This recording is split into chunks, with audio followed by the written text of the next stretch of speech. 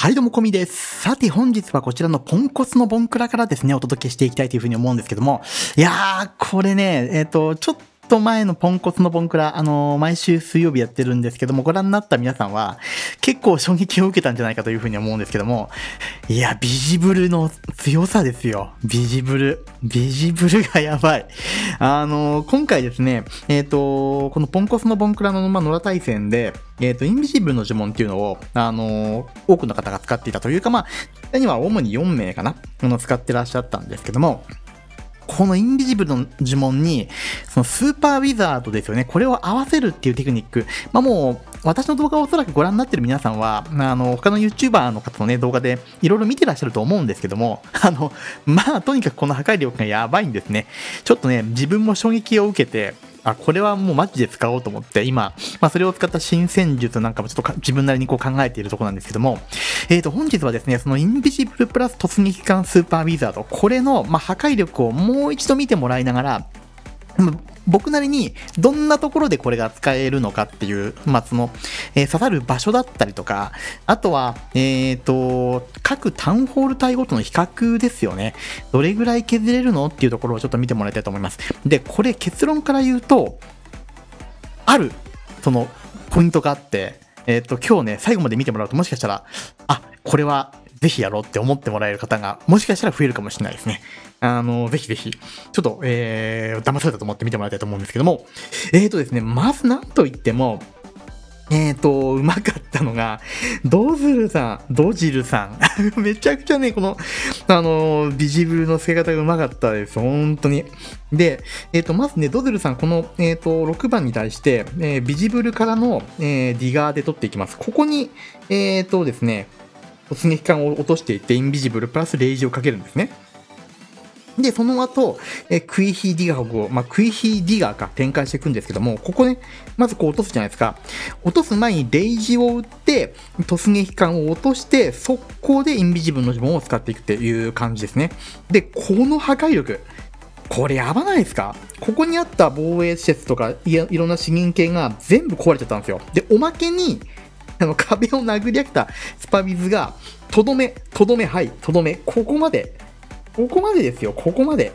こんな感じでぶっ壊しちゃってるの。ここまで全部こう、これはやばいだろう。だって、このさ、突撃艦プラスインビジブルスーパービーザードだけで約30%弱を村ぶち壊しちゃってるんですよ。本当に、めげつがないぐらいに強くって。で、えーその後、えっ、と、不品がですね、この外側うまいことこう歩けるんですね。対空砲もまあそんなに範囲に入んないってこともあって、えー、と、で、えー中央のタウンホール区画に向けて一気にディガーたちを出していくという感じですね。この出し方かっこいいですね。こう面で、ぐわーってこう向かわしていく。面で出すのはなんでかわかんないけども、全部ここに集まって、そのままタウンホールをぐるっとこうね、処理していくみたいな感じですね。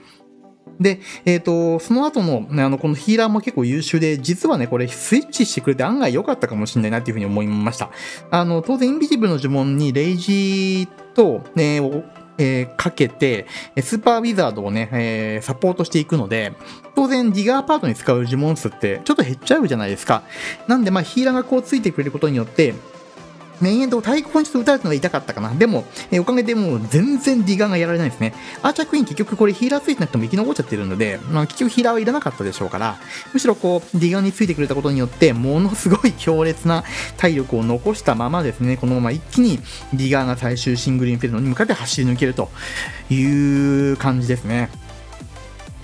いやー、すごいですよね。で、この、えー、とアタックを見てもらい、もう一回見てもらいながら、インビジブルの呪文を私がですね、どんな風なところであの使えるっていう風に、あのこれを見て思ったかなというのをちょっとこう共有させてもらえたらなという風に思っているんですけども、えー、とどんなところでもやっぱね、使えるってわけではないと思うんですね。そうは言っても。あの今回のこの村で、ドズルさんがこのイーグルではなくて、この、えー、とクロスボウの上に落としたには多分ちゃんと意味があって、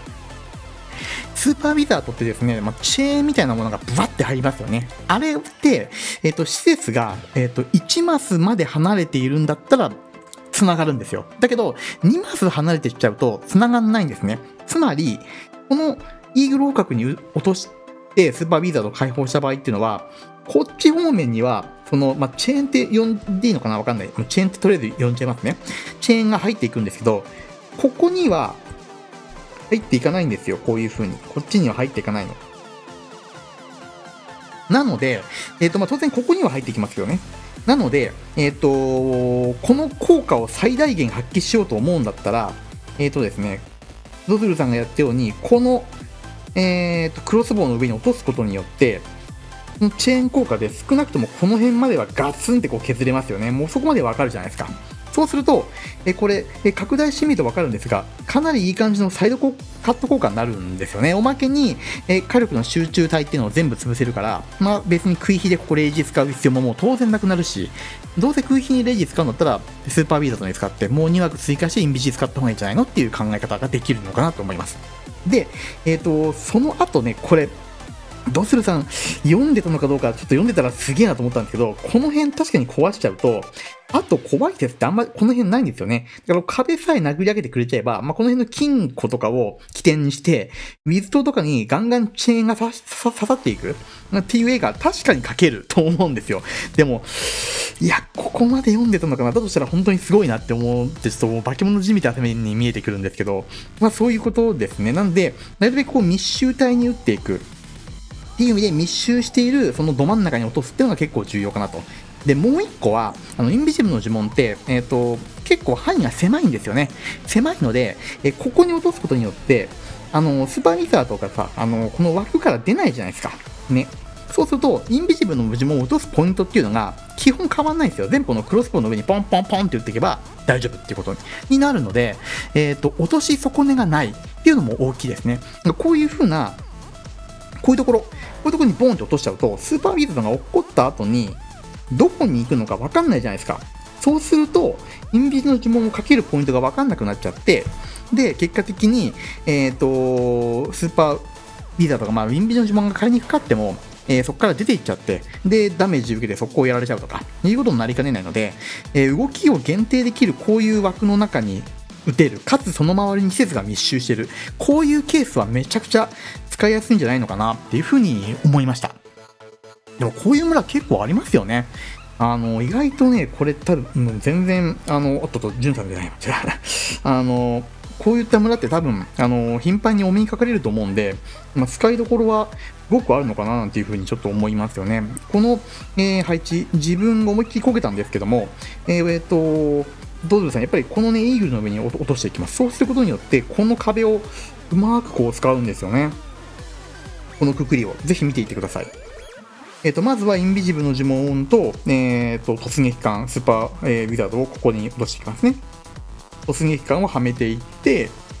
はい、ここに落としてからのレイジーインビジ速攻ですね。あのー、40枠ぴったりなんで、インビジの呪文が少し遅れると、え、スーパーウィザードが1、2体こうやられちゃったりします。で、これね、ポイズン使ってないんですけど、相手の防衛軍いい感じに処理するんですよね、これ。これうまかったなっていう感じですよね。すごい。で、えー、しっかりとこのイーグル砲の中心、イーグル砲を中心に範囲を潰すことができたんで、あとはここはこう、ガーゴールとか、キングも多分使うのかな、ここに。使ったりしてカットを入れていくと、ま、いう感じですね。いやー、すごいですね。ドズルさんのこの本当に、あの、スーパーウィザードの付け方、僕すごい勉強になって、やっぱり、ドズルさん、あの、クラクラうまいなって思いました。元から本当に、あの、僕、ドズルさんの動画を見ながら、あの、クラクラを一生懸命練習した時期があって、で、あの、今辞めてしまった時はね、本当にショックだったんですけども、やっぱこう一緒にクラメンとして戦ってくれるドズルさんって本当に心強くて、で、その攻めも本当に参考になるんでね、あの、ポンコツのボンクラいいクラだなとか言って別になんかこれコビ売ってるわけじゃないですよ。あの、別に何もね、あの、もらってませんけども、あの、なんだ、えー、賄賂的なものはね。でも本当にね、あの、すごいです。うまいし、うん、あの、見てて楽しい攻めをいっぱいしてくれます、ドズルさん。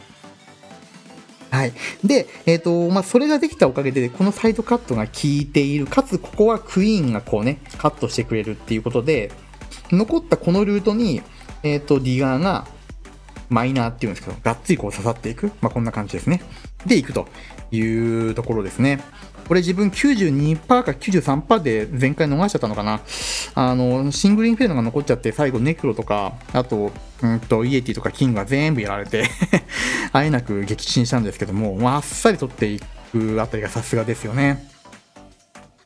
もうポイズンを残すこの余裕さというか、うん、参りました。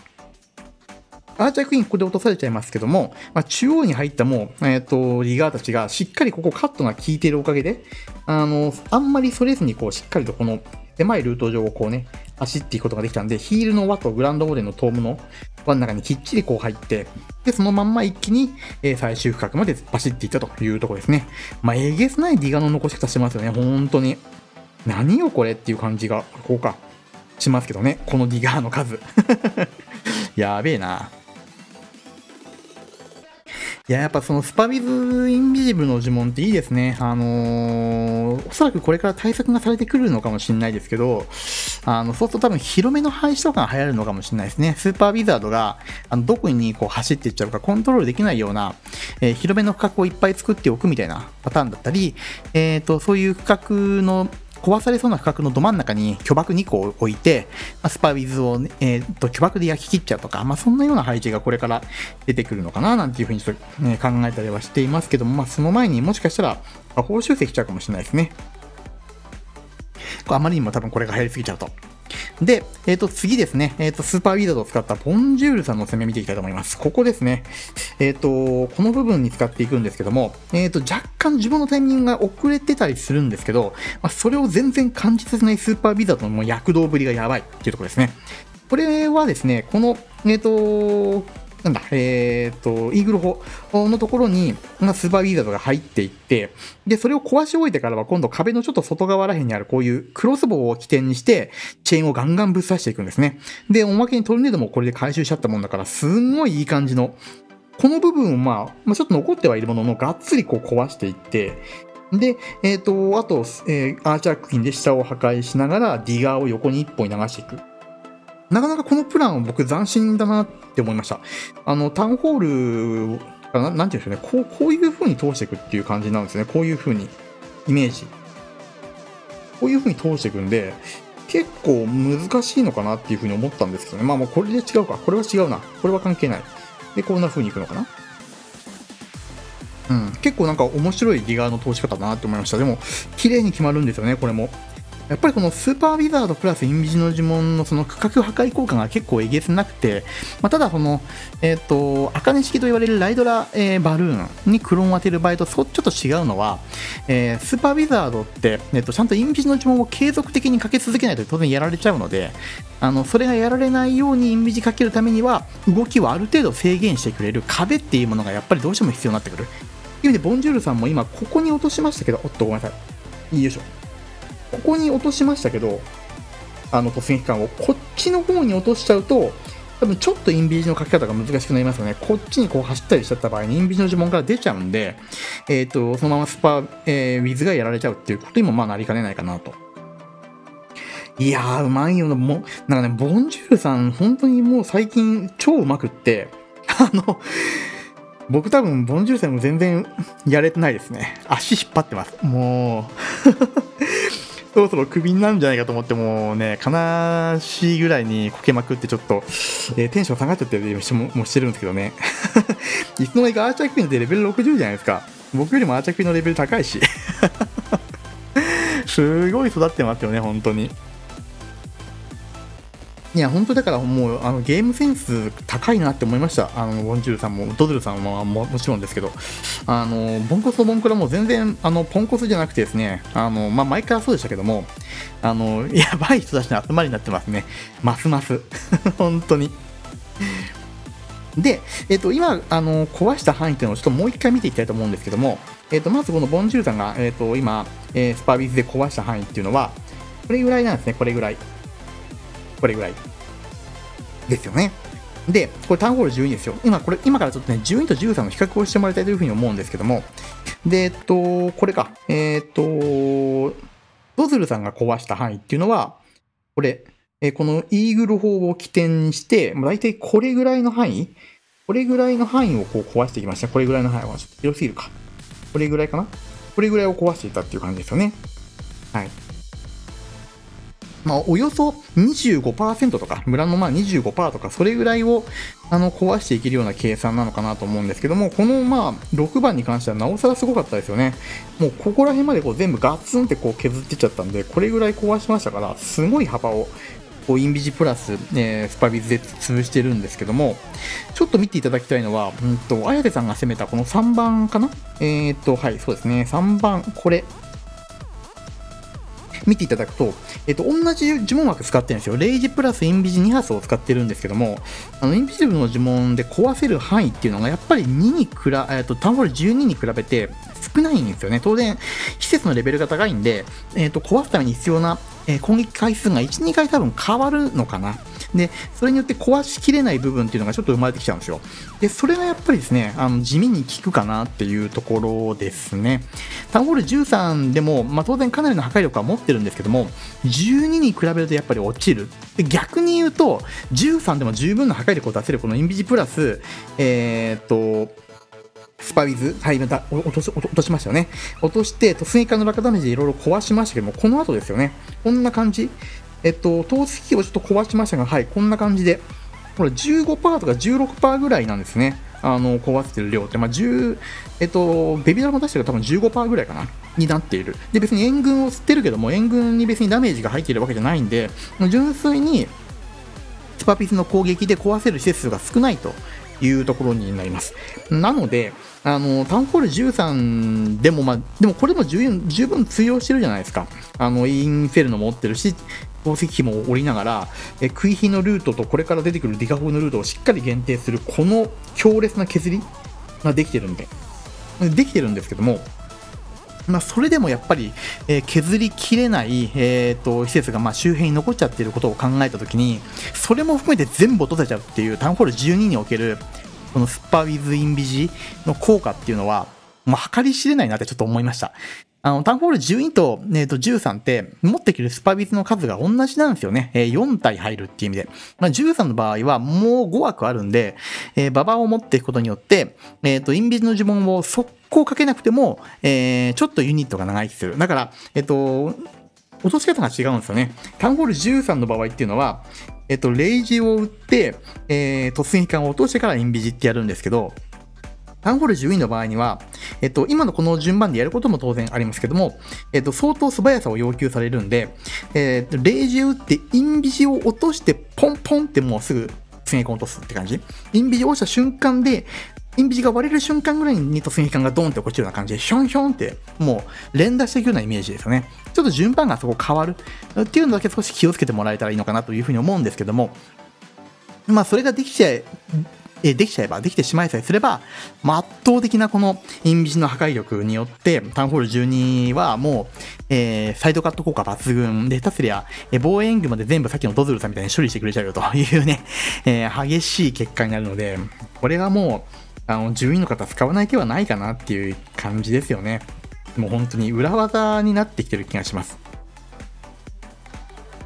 で、やっぱりね、12でいかにこれが使えるかっていうのをもう本当にまざまざ見せつけてくれたのがこのザキスプさんですね。あの、この、このインビジやばいよ、本当に。あの、すんげえ削ったから。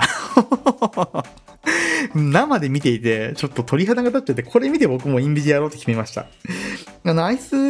ラバーハウンド、えっ、ー、と、名前忘れちゃいました。ごめんなさい。で、えー、最初、えー、対空のターゲットを取って、で、バルーンとか使って、ちょっとこの外周部分の防衛削ってるんですよね。で、えー、ここから突撃艦インビジを押していきます。レイジを落として、インビジがこれ若干遅れちゃってるんで、結構スパビズが撃たれてますけども、ギリギリ4体生き残ってるのかな。で、あとはインビジの呪文を継続的にバンバンバンバンかけていって、これギリギリ中から出ないようにこう撃ってますよね。もう一個ポイントは、壁の外側からタウンホール壊した場合って、あ、これトーム使ったから関係ないか。あのね、タウンホールの爆破ダメージ食らわずにそのままスパミズが生き残るんですよね。あの、タウンホール13で僕やってみたんですけど、見てこれ、見てよ。マジで。ここよ、ここ。まあ、あの、バルーンを使った部分も当然ありますよ。ありますけど、これよ、タウンホール含めたこの部分よ。まあ、約24%。まあ、から20%ぐらいは削れるんですね。プラス5施設ぐらいタウンホール13よりも削れるっていう感じなんで、5施設ってででかいですよね。明らかなアドバンテージが生まれて、あとはもう、えっ、ー、と、バルーンをぐるっと回していくだけっていう感じですね。ちょ、ちょっとね、このバルーンパートは、えっ、ー、と、まあ、見てもらってもいいんですけども、むしろ見てほしいのはもう一回、の素晴らしいんで、滝沢さんのこの、えトームスパーウィズを見てほしい。多分ね、このおそらく動画が公開される頃にはいろんな YouTuber がこれを、えー、おそらくですね、サムネイルにして、えー、紹介してるでしょうと思います。それぐらい衝撃的だったっていうね。えっ、と、これね、えっ、ー、と、グランドウォーデンを、えっ、ー、と、おそらくこの、えー、アイスラバーハウンドに釣らせて奥まで進行させようと思ったんだと思うんですよ。でもうまいこと言ってくんなかったんですよね。なんだけど、ここでやっと、えっ、と、ウォーデンが、えー、えっ、と、スーパーウィザードにこうついていき始めたんで、なんとかなったかなっていう感じですね。ちょっと一瞬焦りました。あの、あれ、オーデンがついていかないとこれまずいんじゃないかと思ったんですけど、で、巨爆のダメージもしっかりトームで回避したんで、さらにもうインビジを重ねて、この、え、クロスボウを起点に対空砲まで追っていくという感じですね。もうこれ、下半分全部壊れてるようなもんじゃないですか、ここ。この辺から下半分。ガーンってこう壊れてるようなもんなんで、あともう上だけこう、ラババルを回していくみたいな、簡単なお仕事ですみたいな感じですよね。これやべえなというところで。えーと、まあ衝撃を受けました。というところでですね、えっ、ー、と、もう皆さんだいぶ、あの、ご覧になってると思いますけども、スパビズ・インビジは強いです、マジで。なんですけども、タウンホール13でも当然通用しますが、タウンホール12で使うとなおさらいけるので、今12をやっている方は、もうしばらくこれを徹底的に使いこなすのがいいのかなという気がしています。で、ポイントは、やっぱり、え、スーパーウィザードがあっちゃこっちゃ、えーと、飛び散らないような狭い壁に囲まれた区画を狙う、まあ、こことか、ここなんかは多分狙い目の角ですね。こういうところもまあギリギリいけるかな。こういうところに打っちゃうと、どっちに走っていくか分かんないし、下手すら割れちゃったりして、えー、スパビズがね、えっ、ー、と、インビジの呪文から出ていっちゃったりするんで、まあそういうところはまあ狙わない方が、最初のうちはいいかなっていうふうに思います。で、慣れてきたらまあそういうところに打っていくのもありかもしれないですけど。で、えっ、ー、と、タウンフォール12においては、インビジの呪文を打った瞬間ぐらいに突撃艦をポンポンって音を先にインビジを打つぐらいの方がいいのかなっていう風な気がします。万が一のことを考えて。で、えっ、ー、と、タウンホール13においては、えっ、ー、と、馬場を5体に入れれるんで、先に突撃艦を落としてからインビジっていう順番で十分かなというところです。むしろ、むしろそっちの方がいいかもしれないですね。はい。っていう感じかなっていうふうに思います。レイジバーはまあ一番最初に打っておきましょう。っていうところですね。で、えっ、と、壁の、えっ、と、を挟んでタウンホールを殴った場合には、えー、スーパーウィザードやられずに壁の向こうのタウンホール壊してくれちゃうんで、まあ、こういうテクニックも結構おすすめかなっていうふうに思います。結構ね、自分もそれで最近、あの、美味しい思いをさせてもらってますね。はい、というところでですね、えっ、と、本日はスーパーウィザード×インビジブルに関して、えー、ポンコツのボンクラで見ていて思ったことをですね、えー、お話をさせてもらいました。まあ、とりあえずみんなうまいんだよ。ワンコスのボンクラのメンバーは。本当にうまくて ちょっとね、僕練習しなきゃな。本気でちょっとタウンホール12どっかに修行に行こうかなっていうふうに思っちゃいますね。あのー、12の練習マジでしないと足目でまといだよっていうぐらい、まあ、うまいので、まあ、これからそんな皆さんのですね、アタック、また、えー、いいリプレイがあった場合には、ぜひこう動画で、えー、紹介をさせてもらいたいなというふうに思いますし、え、これからもタウンホール12、11、13幅広くですね、こう扱う、え、チャンネルにしていきたいというふうに思っておりますので、よろしければぜひ、グッドボタン、チャンネル登録よろしくお願いいたします。というところで、えー、本日の動画を終わりにしたいと思います。また次の、え、動画、またはポンコスのボンクラでお会いいたしましょう。バイバイ。